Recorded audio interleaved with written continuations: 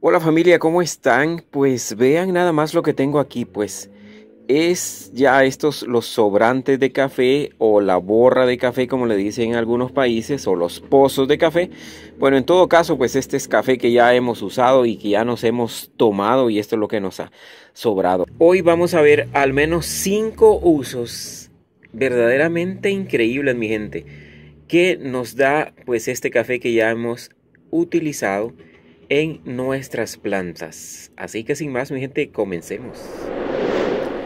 Así es familia, así que sean todos bienvenidos a un nuevo video. Como siempre, les saluda su amigo Gio de la Rosa. Pues la verdad que es, es muy interesante y es muy importante pues que usted ya de hoy en adelante ya no tire estos restos de café, pues que prácticamente todos consumimos, ¿verdad? Alrededor del mundo. Al menos yo soy uno que, que mis dos tacitas de café me las tomo todos los días. Y además, pues si usted no tiene la opción de conseguir estos restos de café, pues también tiene la opción de que pueda pasar pues por alguna cafetería y ahí con mucho gusto le van a dar pues los restos de café que ellos tengan.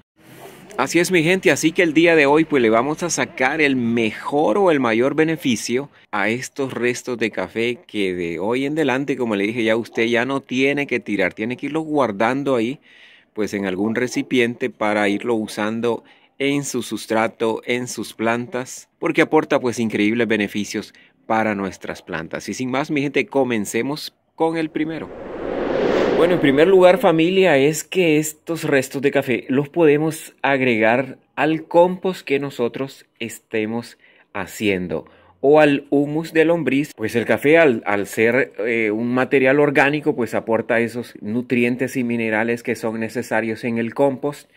Y pues de esa manera también las lombrices van a estar encantadas de que usted agregue un poco de café, porque ellas de ahí mismo se alimentan. Solamente que no hay que abusar ¿verdad? En la cantidad que vamos a poner. Otro uso muy importante, mi gente, y este sería el número dos, es que si usted tiene de repente alguna tierra que ha estado, una tierra que es muy dura o que es muy apelmazada, entonces usted puede agregar un poco de estos restos de café y esto va a ayudar a que nuestra tierra o que nuestro sustrato pues esté más suelto, vea, y que el agua pueda penetrar pues muy rápido hasta las raíces. Lo único que hay que tomar en cuenta es que no podemos avisar. avisar. Ay, no. Lo único importante, mi gente, es que no podemos abusar en la cantidad de café que le pongamos porque podemos cambiar el pH de nuestra tierra. Y eso pues no le favorece a algunas plantas. Algo muy importante mi gente es que no olvide suscribirse a este canal si todavía no está suscrito. Además active esa campanita para que usted sea una de las primeras personas en recibir cada uno de mis videos. Déjeme su comentario y algo muy importante es que le dé me gusta en este momentito a este video. Bueno mi gente, el punto número 3, esto es bien importante porque muchas veces nosotros tenemos nuestras plantitas y pues de repente no, le caen plagas como las babosas, los caracoles y una manera de, de tenerlos pues un poco alejados es poniendo café también aquí alrededor de nuestra plantita. Porque a los caracoles y a las babosas y algunos tipos de hormigas también no les gusta caminar sobre este café y además el olor pues para ellos es muy desagradable. Otro punto muy importante, mi gente, y este sería el número 4, es que si usted pues andan rondando los gatitos por ahí, por, por su jardín, pues puede poner también restos de café ahí en sus macetas para que estos gatitos pues no vayan a hacer sus necesidades ahí donde usted tiene sus plantitas porque también el olor al cafecito pues les es muy desagradable a ellos. Punto pues verdaderamente importante familia es que mejora considerablemente nuestro sustrato sin excedernos como siempre en la cantidad que le vayamos a poner. Pues aquí le estoy poniendo solo una, una pequeña cantidad como ustedes pueden ver. Este recipiente es pequeño. pues le he puesto un poco.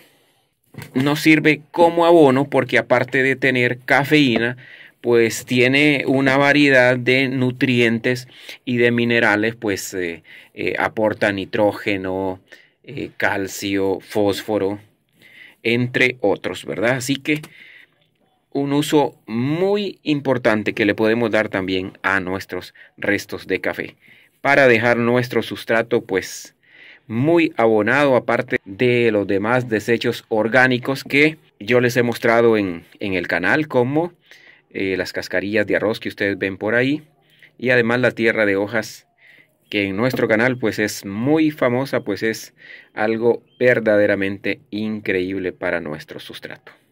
Lo que conseguimos con esto es pues tener esas plantas hermosas, muy grandes, muy florecidas, así como queremos tener pues nuestro jardín que hemos soñado. Además lo puedes incorporar como un poco de abono sobre el sustrato de las macetas.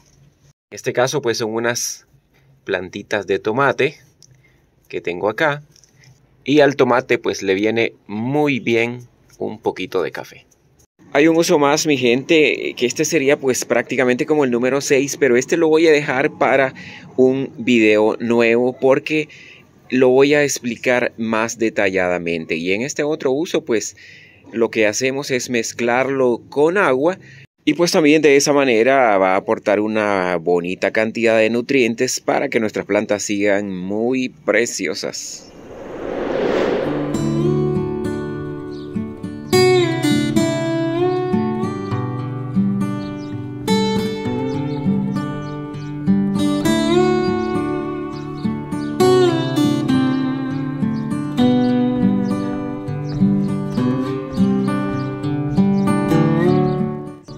Aquí mientras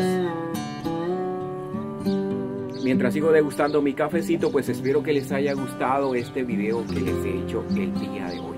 Para mí siempre es un gusto y un placer hacerles estos videos. No dude en usar y en aplicar el café. Así que ya no lo siga tirando a la basura, familia. Recuerden dejarme un me gusta ahorita mismo antes que se les olvide. Suscríbase si no se ha suscrito todavía y active la campanita. Y además déjeme un comentario, cuénteme qué otros usos le da usted al café o si ya lo estaba usando o si no lo había usado hasta este momento.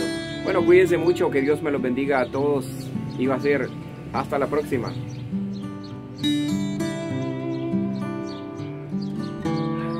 Una delicia, la verdad.